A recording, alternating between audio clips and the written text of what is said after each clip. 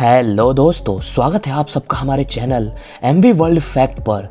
दोस्तों, प्रधानमंत्री मोदी का जन्म 17 सितंबर 1950 को गुजरात के वडनगर में हुआ था। उनके पिता का नाम दामोदर दास मूलचंद मोदी और उनकी माता का नाम हीराबेन है।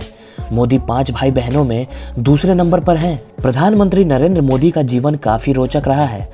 प्रधानमंत्री मोदी के पिता दामोदर दास मूलचंद मोदी की वडनगर स्थित रेलवे स्टेशन पर चाय की दुकान थी। मोदी के बचपन का नाम नारिया था। हर कोई प्यार से उन्हें नारिया कहकर बुलाता था। वो वडन नगर के भगवताचार्य नारायणाचार्य स्कूल में पढ़ते थे।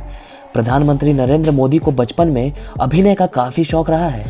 2013 में मोदी पर लिखी गई किताब, the man of the moment Narendra Modi के मुताबिक जब वो 13 से 14 साल के थे, तब उन्होंने स्कूल के लिए फंड जुटाने के लिए स्कूल के बाकी बच्चों के साथ एक नाटक ड्रामा में हिस्सा लिया था।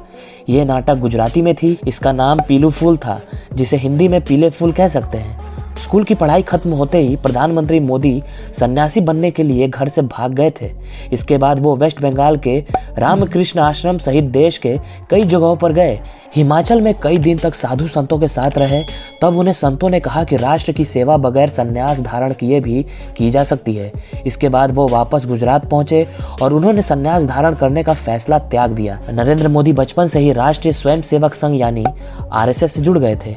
उन्नीस में दिवाली के दिन गुजरात आरएसएस के पहले प्रांत प्रचारक लक्ष्मण राव ईमानदार उर्फ़ वकील साहब ने नरेंद्र मोदी को बाल स्वयं सेवक की शपथ दिलाई थी। मोदी संघ के कार्यक्रमों में प्रबंधन की ज़िम्मेदारी निभाते थे। आरएसएस नेताओं के बस और ट्रेन में रिजर्वेशन का जिम्मा उन्हीं के पास था। प्रधानमंत्री मोदी समय के बहुत पाबंद हैं। वो केवल चार घंटे की नींद लेते हैं। एक इंटरव्यू में उन्होंने बताया था कि वो अपने शरीर को हेल्दी रखने के लिए नियमित तौर पर योग करते हैं। इसके अलावा ध्यान भी नियमित करते हैं। मोदी को पतंगबाजी का काफ़ी शौक है।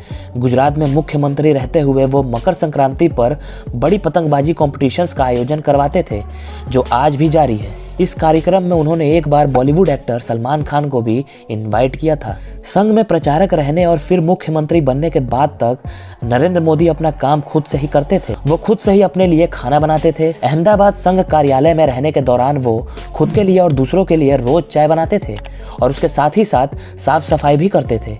इसके अलावा बुज़ुर्ग स्वयं सेवियों के कपड़े भी मोदी ही साफ़ करते थे। 1975 में जब आपातकाल की घोषणा हुई तो मोदी युवा अवस्था में थे। उस दौरान संघ के स्वयंसेवी के तौर पर उन्होंने उसका विरोध किया। इस दौरान पुलिस से बचने के लिए उन्होंने सरदार का रूप धारण कर लिया था। इसके ज़रिए ढाई साल तक वो पुलिस को छकाते रहे। नरेंद्र मोदी जब संघ में थे, तभी से कुर्ते की बाह को छोटी करवा लेते थे। ऐसा इसलिए क्योंकि इससे कुर्ता ज़्यादा गंदा नहीं होता था और आरामदायक भी रहता था। आज वही कुर्ता मोदी ब्रांड बन गया है। एक आरटीआई में पीएम मोदी के ऊपर होने वाले भोजन के खर्च को लेकर सवाल पूछा गया था। इस बारे में केंद्रीय सूचना अधिकारी ने विस्तार में जवाब दिया था। उन्होंने बताया था कि पीएम मोदी अपने खाने का खर्च खुद उठाते हैं, यानी कि उनके खाने पर सरकार का कोई खर्च नहीं होता है। दोस्तों, हमारे पीएम मोदी गुजराती खाना बहुत पसंद करते हैं। वो अपने कुक बद्री मीणा के हाथ से बना खाना खाते हैं। पीएम बाजरे की रोटी और खिचड़ी खाना पसंद करते हैं। और प्रधानमंत्री मोदी के बारे में ये भी कहा जाता है कि उन्होंने आज तक कोई छुट्टी नहीं ली है। तो दोस्तों, ये थे हमारे पीएम मोदी की लाइफ की कुछ बातें जिसे अब आप अच्छे से जान चुके हैं।